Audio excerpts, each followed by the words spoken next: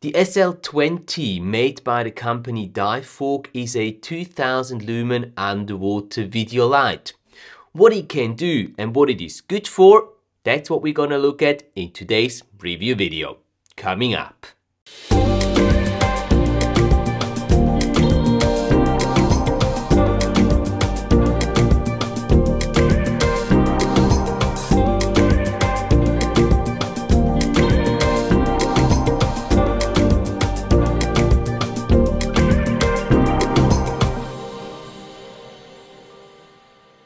Hey there underwater filmmakers, what's going on? It's great to see you back here on the channel for today's review video.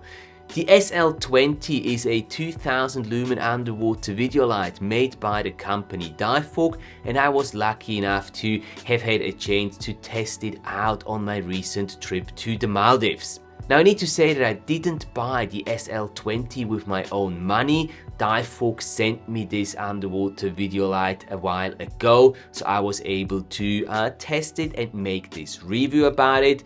They are not paying me for this review and they don't have anything to say in terms of what I'm saying and uh, telling you guys about this underwater video light.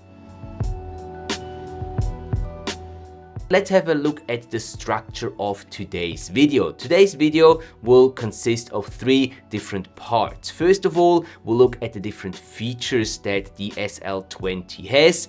Secondly, we'll look at the pros and the cons of this specific underwater video light. And last but not least, number three, we will talk about, or I will share to, with you my personal thoughts on what I think or who I think this um, underwater video light is made for and in which situations it really shines and maybe also in which situations you shouldn't use this specific light.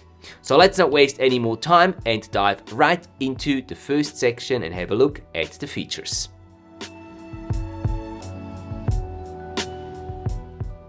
Divevolk's SL20 is a really feature-rich, small, compact and lightweight underwater video light. It has a 2000 lumen maximum output power, which, to be quite honest, isn't huge, and there's definitely underwater video lights that perform much better in that field, but it is sufficient for a lot of different scenarios. Which ones these are, that's something that we'll look at a little later in today's review. Now, the way this light is operated is by a one button um, mechanism. So you can just keep the button pushed down for a while and that will turn the light on. And then by just pushing onto the button once, um, you will cycle through the different modes. Pressing onto it once will get to the 2000 lumen maximum um, output mode. Pressing onto it once more will get to the 50%, so 1000 lumen um, low output mode. And again with another press we'll get into um, a red light mode which can be quite useful if you're an underwater photographer and you want to use this specific light um, as a focus light on your rig so you can get closer to your animals without scaring them off before you fire off your strobes. As an underwater filmmaker, I don't really see too much benefit in having a red light function on an underwater video light though. The SL20 gets powered by a battery pack or basically a single battery uh, that is replaceable and rechargeable as well. You can see that it makes up most of the uh, underwater video light itself. Uh, the good thing about a replaceable rechargeable battery is that you don't need to wait for the battery to charge in between dives. If you've depleted the battery, if you have a spare one, you can just uh, swap it out in between dives and continue uh, filming and uh, using that light uh, underwater again. Now talking about the battery life, this uh, this battery will supply your underwater video light, the SL20, with 150 minutes of power on the highest output level, so on 2000 lumen, which is quite okay in my opinion. Now, if you're doing two dives a day, this is gonna be easily enough for you to take you through all the, the, dives of the day. Even if you're doing three dives a day on like a longer day trip, you can still manage to go through or get through all the three dives with just that one battery charge uh, and without having to recharge in between or change batteries in between by just using the light a little bit more conservative. Now the way how you can tell how much battery you've got left on your torch, on your underwater video light, is by simply looking at the LEDs that are located around the um, operational button. Now you've got different colors there. If the color um, is green, that means that the um, that the underwater video light has more than 70% of battery capacity left. If it's orange, it means the battery capacity is somewhere between 70 and 30%. And if it turns red, it means you've only got or you got less than 30% of battery capacity left and it would be a good idea to recharge the battery at the next possible um, opportunity. The SL20 really is a pretty small and compact underwater uh, video light. It has a diameter of 42 millimeters and a length of 131 millimeters. It weighs in the water with the battery um, inside the underwater video light it weighs 169 grams. That's the negative lift that it has and that it's gonna make your, um, your complete underwater camera system uh, a little heavier but I think 169 grams is not too bad and I don't really think that you will uh, necessarily need to compensate for that extra added weight onto your underwater camera rig. Let's talk about the light quality next. The SL20 has a color temperature of 5600 Kelvin, which equals pretty much daylight temperature. The color rendering index is 83. The color rendering index tells you how close the light that gets emitted by the underwater video light matches natural sunlight. Natural sunlight having a CRI reading of 100. So the closer that number gets to 100, the better.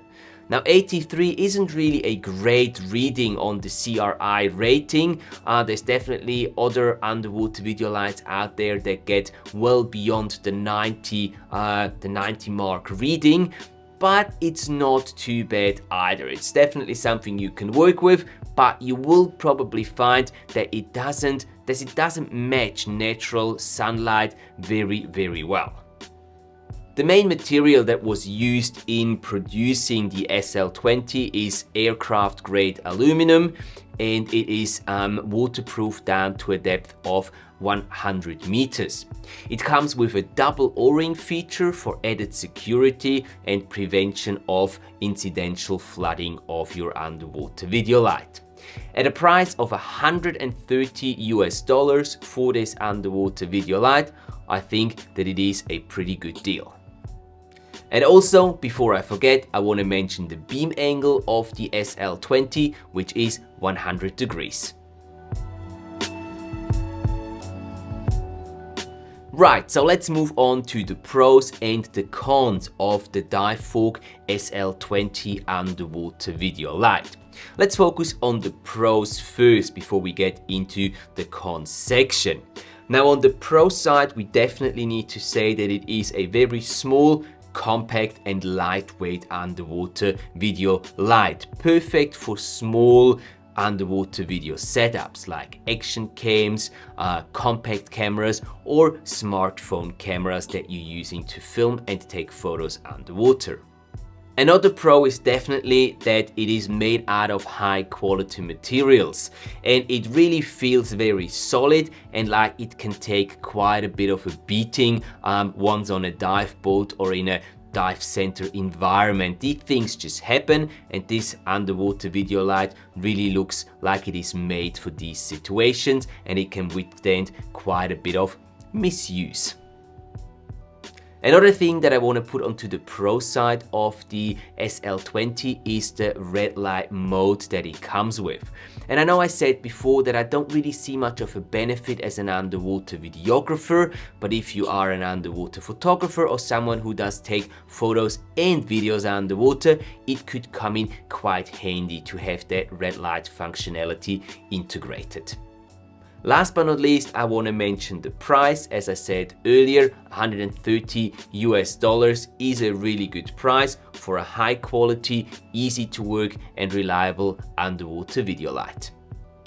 One last thing I nearly forgot that definitely needs to go onto the pro side is the packaging and what is all included when you buy the SL20. You get a really nice little pouch that carries your um, underwater video light and if you open that pouch inside there is plenty of space. You'll get a little lanyard so you can attach it uh, to you. You don't lose it you have the box for the um, battery, you have a little charger for the battery there, and it also comes with a little silicon uh, grease uh, to help you keep your o-rings in good shape and obviously a little um, manual that is integrated in the packaging and the pouch there as well. So if we look now at the con side of the SL underwater video light by Divevolk, there's only three things that I would place on there.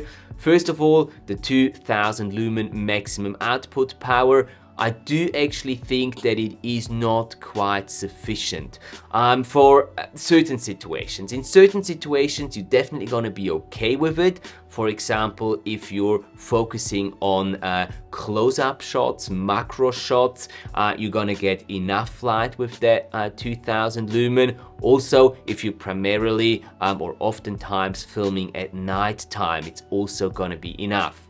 But imagine you're trying to, you know, light up a larger wide angle scene. The 2000 lumen are just not gonna be um, strong enough. Even if you use two of these lights and have 4000 lumen, lumen available, it's probably still not going to be enough for a wide angle scene. So anything other than wide angle, the light is gonna be fine with the 2000 lumen, but it does restrict you a little bit, and that's why the output power gets put on the con side here.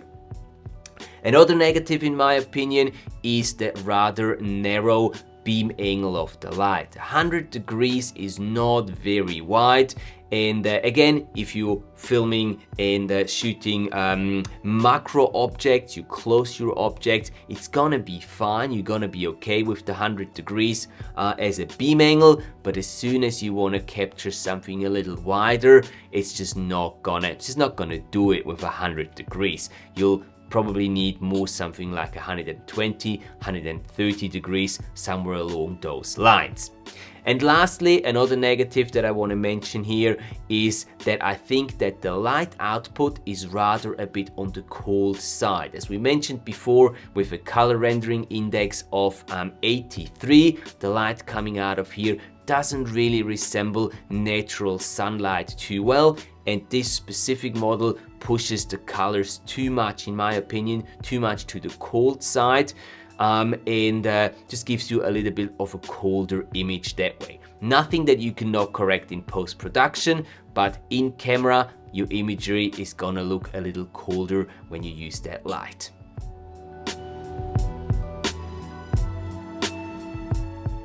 So who is the Divevolk SL20 underwater video light made for? Well, I would say if uh, you are someone who dives and films with a compact setup, an action cam, a compact system, a compact camera, or a smartphone in a smartphone housing, then I think this underwater video light is really ideal for you.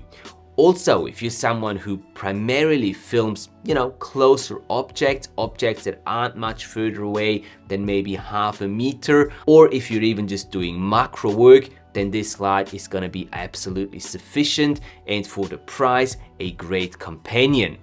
If on the other hand you're more into the wide angle stuff, you wanna, let's say, uh, film a, uh, a wreck structure underwater or a large uh, wide coral reef, it's gonna be really difficult to light that up with the SL20 just by itself because it's just not powerful enough and it doesn't have a um, beam that is wide enough for that. I personally will definitely keep the SL20 um, within my arsenal of underwater video lights, but I'm probably not going to be using it primarily as an underwater video light because what I was thinking that I'm just going to be taking off the uh, ball mount and then I have transformed this into a very nice, compact, lightweight um, and uh, versatile underwater flashlight that I can just put inside my BCD pocket, have it with me at all times, have it as a backup light if anything happens during the dive and my big underwater video lights fail or also uh, as a as a additional light that I can use to light up um, areas where I can't reach with my big underwater video lights. So that's the use that this little feller is gonna have with me in the future. So there you have it, a quick overview of the Divevolk SL20 underwater video light. Hopefully this review was useful to you and I was able to show you uh, what this dive uh, underwater video light can do and in what situations it is particularly useful. If that was the case, please do not forget to hit that like button and consider subscribing to the channel so you're not missing out on any future reviews and other content that will be uploaded here regularly.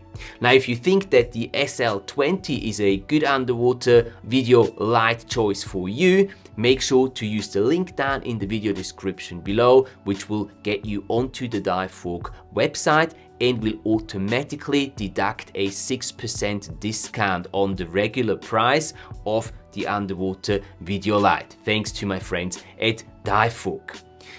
The 6% also apply to any other products that you can find on the Divevolk um, website. So if you're looking for the best underwater smartphone housing, if you're looking for uh, tripods, if you're looking for underwater video lights, if you're looking for trays, anything like that you can find on the Divevolk website and anything you want to get, you'll get the 6% discount um, applied straight at the checkout uh, by using the general link which is down in the video description as well. So that's it for today guys. Thank you so much for your time and for watching. In next week's video, we will be looking at how to match two shots so that they look the same and that you can't really tell that they have been taken at different dive sites in different conditions and maybe at different uh, day times. If this is something that interests you, make sure to tune in again next Tuesday here on the channel. Until then, have a great week, enjoy capturing your awesome underwater adventures and I will see you in the next video.